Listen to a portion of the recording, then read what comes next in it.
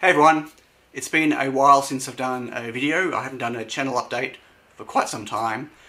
I'm currently not working on any new projects. I wish I was, but I'm still trying to catch up on all of my production.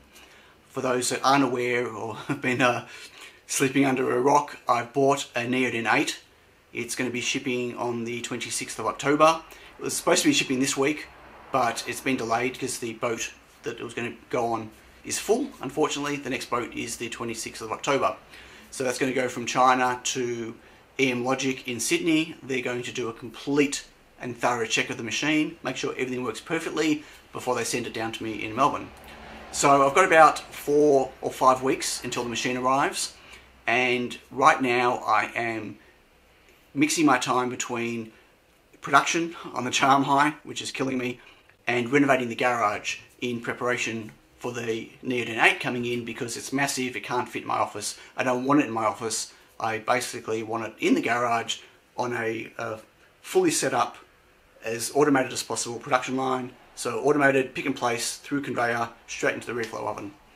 So it's all happening. It's um, not going as fast as I'd like, but it's faster than I expected. And meanwhile, I'm just trying to tune out as many boards as I can. I'm constantly running out of stock because I'm constantly doing small runs rather than large runs because of how frustrating the CharmHigh is.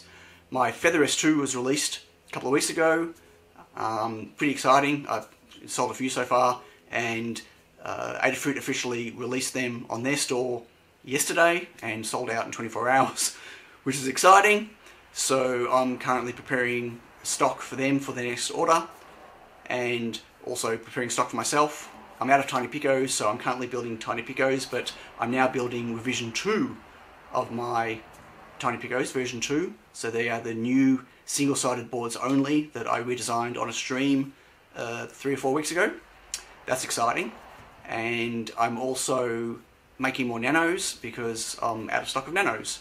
It's a great problem to have. I'm not complaining. I just wish I didn't have to build this stuff on the CharmHigh.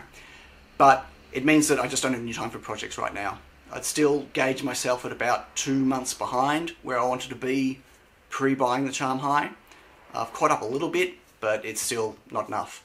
So I'm sorry there have been no new projects. There are actually projects in the works, but they're all stalled right now until I can just get over this hurdle and the Neoden 8 arrives, I'll learn how to use it, get the production line running smoothly so I can just tune out boards as I need considerably faster than what I can do right now. So I wanted to give you a quick look at what I'm doing for the renovation in the garage. It's nothing glamorous. Basically, it's all about keeping the garage clean and insulated and temperature controlled so I can have the production line in there. It's not going to look as fancy as my office, but it's going to look much better than it did before, and hopefully be stacks cleaner than it was before. Okay, so let's have a look at the garage. Okay, it started raining, so I had to move all of my tools back in. I generally move my um, my saw and my workbench and everything that you can see here out of the garage when I'm working so I don't get sawdust and stuff everywhere. But I've had to bring everything back in including all the timber because uh, typical Melbourne it's been sunny all day and now it started raining. So so far what I've done is I've taken this wall over here and I've framed it up and I've got insulation behind all of the MDF I'm just using MDF I'm not plastering as I said, I don't really care how it looks. I just need it to be insulated and cleaner than what it was before. The actual cavities you can see here are for some custom shelves, which I'll go through with you all at a different time. Um, I've got all the timber to make them, but I don't have any space to cut the timber. The uh, only workbench I've got for woodworking in the whole entire area is that, which is yeah about 10% the size of what I need to um, to cut the timber for those shelves. But I'll go through that another time. That wall actually goes the whole way behind these shelves here. And that was just all exposed brick before. And that in combination with the ceiling, which was just the silver cover, was letting dust and crap and everything in.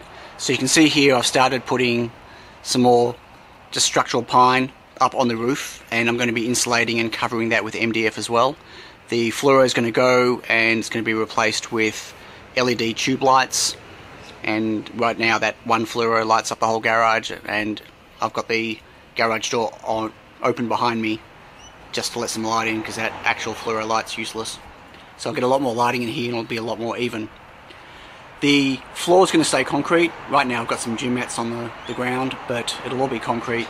And the plan is that the production line will run this way.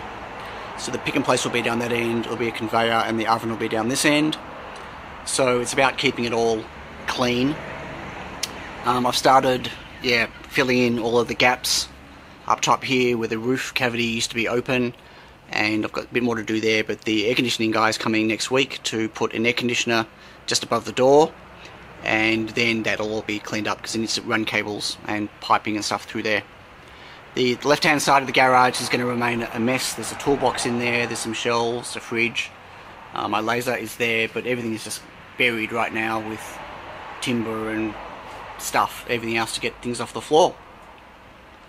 So it doesn't look anything fantastic, but it's already got uh, twice as much insulation as it had before. It'll eventually have a lot more, and it's dramatically cleaner in terms of the amount of crap that's coming into the roof, especially on a windy day. But once I finish the ceiling, get all that insulated and get all that covered again, then that'll block out pretty much all of the holes. I still have to solve what I'm going to do in this section just up here.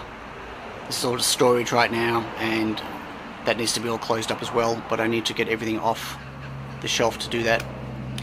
So that's my garage. That's the work that's been done so far. The thing I'm most excited about out of all of this is actually my custom shelves that I've designed because I need to get storage still in here.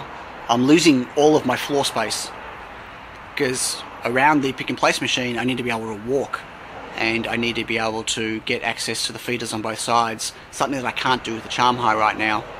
So I wasn't able to leave shelving along the wall like I had before in here. So I've had to lift the shelving up. So these sections here will be comprised of two shelves, like bookshelves, but the front of them will be on an angle, so the top shelf sticks out much wider than the bottom shelf, and it's all recessed into the wall so I don't lose that 110 mil. I keep that as part of the shelf and so it doesn't have to stick out as far. And then above that is going to be storage for all of my packing. I've got, I don't know, three dozen boxes of, you know, bubble wrap and different size blue envelopes and all sorts of stuff for my packaging.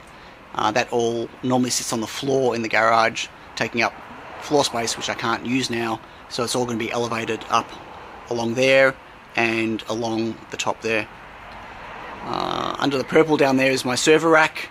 It's got covering on it right now. You can see a little blue LED. That's my uh, 10 gig router.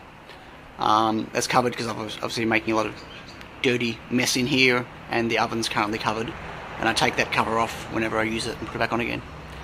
So that's it. That's the garage. It looks pretty messy. It is.